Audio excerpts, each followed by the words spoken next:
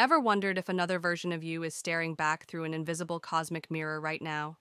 Scientists have discovered that quantum entanglement, often called spooky action at a distance by Einstein, might be the key to communicating across parallel universes. Here's where it gets mind bending. Particles in our universe could be entangled with their counterparts in parallel dimensions, creating a cosmic network of information exchange. Think about it. Every decision you make could be creating ripples across multiple realities, connected through quantum bridges we're just beginning to understand. Recent theoretical models suggest these connections might be observable through gravitational waves and quantum fluctuations in spacetime. The implications are staggering. We might not be alone in our universe, but connected to an infinite web of alternate realities. Want to dive deeper into these cosmic mysteries? Follow us for more mind expanding theories about our quantum multiverse.